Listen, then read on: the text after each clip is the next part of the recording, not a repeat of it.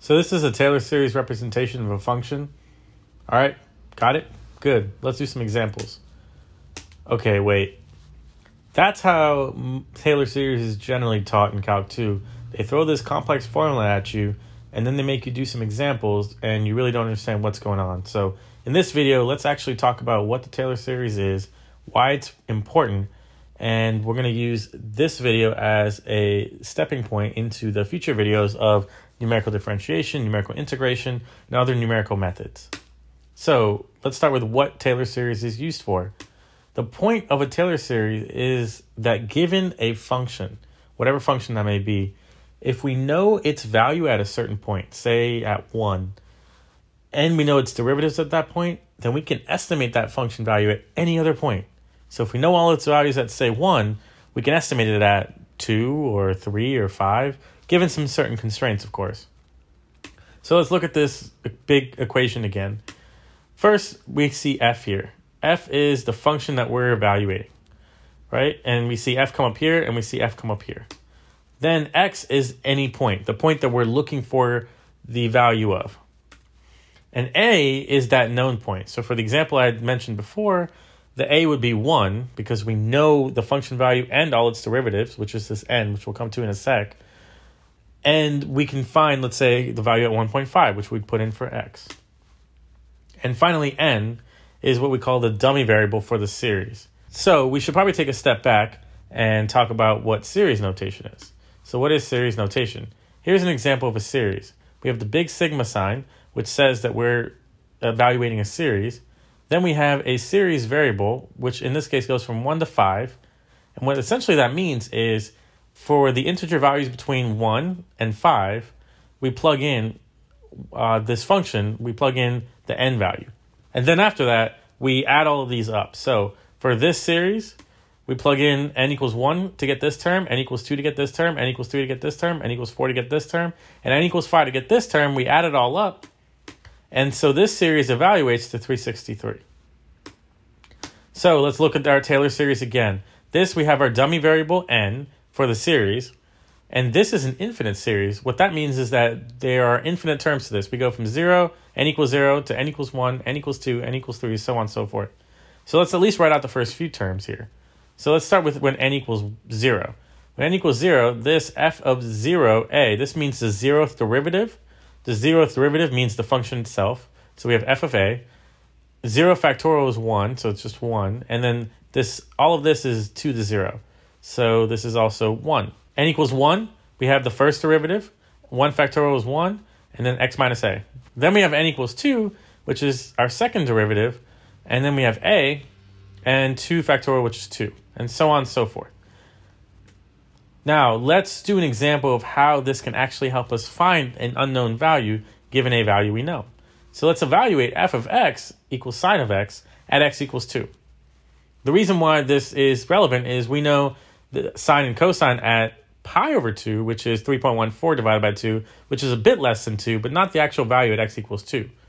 And so let's use a equals pi over 2 as our known point. So our function to evaluate here is sine of x.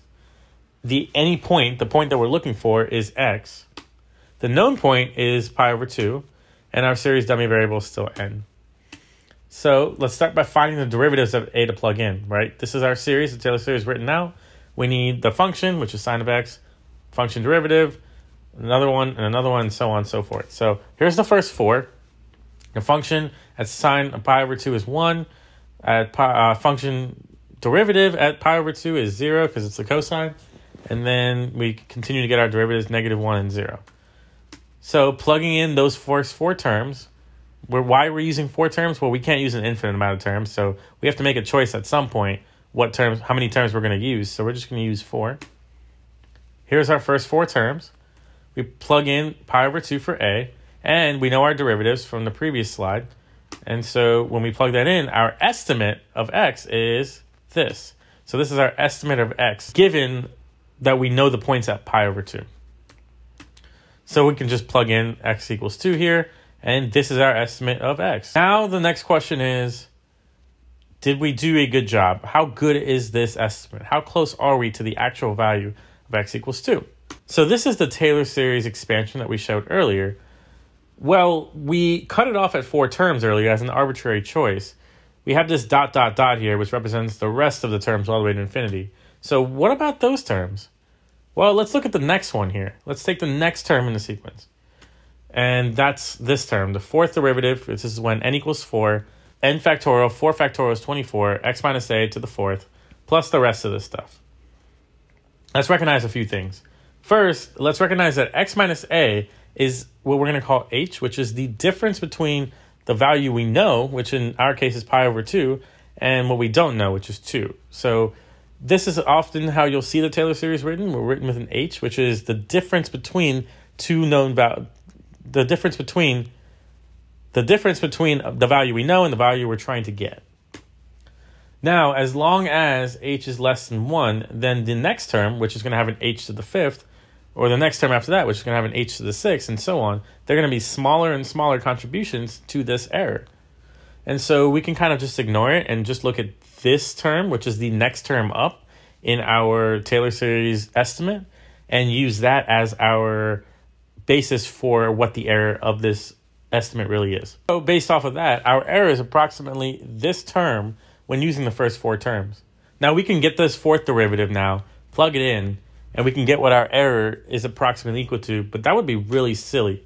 The reason why it'd be silly is because if we know about how much our error is, we might as well add it to our original answer and now we've taken the Taylor series out to five terms, not four terms, and so on and so forth. So it's kind of a silly or it's kind of a, a not productive process to find the exact magnitude of error because if we could do that, we might as well have done that in the first place. What we can recognize without doing any calculations is how much our error scales if we change our h, which is our distance between our known point and the point we're trying to get. So, for instance, if we take this out to four terms and we double our h, then this scales by about 16 times, so our error is going to be increased by 16 times. This should seem familiar to you if you've seen my previous video on time complexity, how time complexity is about scaling. And so much of numerical analysis is not going to be absolute error or absolute amount of anything. It's going to be how does this amount scale based on a certain value or a certain parameter. So, without talking about a specific f of x, because this scaling applies for any function that we give it, we could talk about how the error scales with h. So the error is going to always be proportional to h to the number of terms used. Because, for instance, if we t- took it out to five terms, then the next term would have been the h of fifth term, so h to the fifth. And so the error is always going to be proportional to h the number of terms used. Now, in our example, f of x equals sine x, we estimated out to four Taylor series terms, centered, centered means what value we know, at pi over 2, as the following. We decided it was this. And the error here is going to be plus this term, which is the term after that, the fifth term. And what we can do here is graph the error of this versus h to see if it actually fits the h to the fourth value here. So let's go ahead and do that. Let's pull up an Excel spreadsheet. And let's have our h values go from, we do want them to be less than 1. So if I can do equals rand, this is going to generate a random number greater than 0, but less than 1. So we'll make a bunch of random h's here. And remember, h's are our difference between our known value, which is pi over 2, and our x. So our x is going to have to be equals this plus pi over 2. So I'll say pi is a function here in Excel over 2. And let's do this for a bunch of these. In fact, I would probably want even more h's than this. We could do this for like, I don't know, 128 of them, I guess and put this down. Now our actual sine of x here is going to be sine of x. We'll use Excel's built-in function. And Excel's built-in function probably does the Taylor series too, out to a certain amount of of uh, terms, but probably more than four.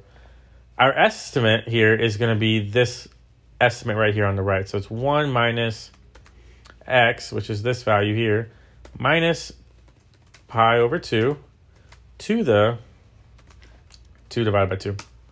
So that's our estimate. We're pretty close to the actual, even just given four terms.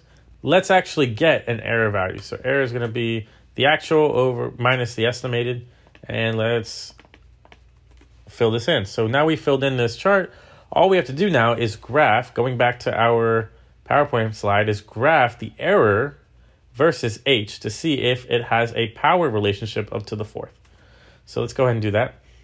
So we'll have HBR x-axis, and then we'll have our error, and I don't know if there's a better way of doing this than just scroll down, but we'll do that, and we'll make a quick scatter plot out of it. And does that look like a to the fourth power relationship? Well, let's add a trend line. We add a power trend line, and let's display the equation on the chart. And I will make this a little bigger for all of you guys to be able to see. So clearly our power relationship is to the fourth, which matches what we said about our error. Clearly there's a little bit less than to the fourth. That comes from the rest of the terms. And in fact, if you looked very closely, you would see that the next term in the Taylor series will have a negative sign. So it's a little less than to the fourth. Now, real quick, just to check your understanding, what do you guys think this coefficient is? Right? Well, let's look at it.